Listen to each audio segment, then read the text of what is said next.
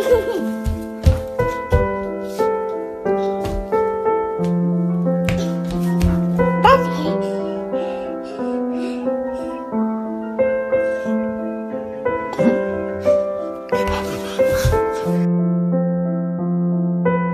it going, everybody, on TikTok?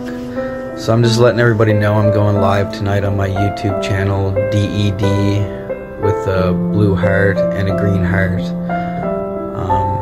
Just want to try and answer some questions and um, maybe answer some questions about the hearing coming up in February, give some dates and some times on when everything's happening um, talk about the GoFundMe that's circulating around and how we could use a little bit of help and um, spread a little awareness.